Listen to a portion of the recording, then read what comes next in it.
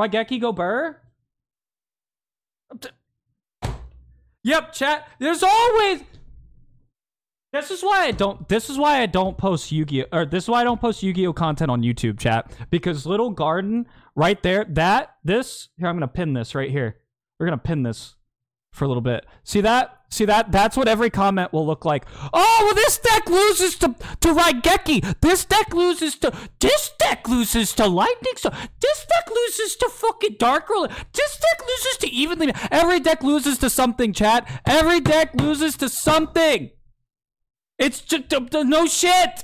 I know. It's fine. It'll be fine. It'll be okay.